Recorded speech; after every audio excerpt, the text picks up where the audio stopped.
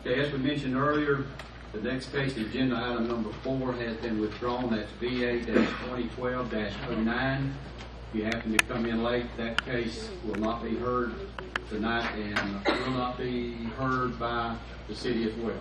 Correct. It'll be listed on the city council agenda, but it will not be heard. Okay,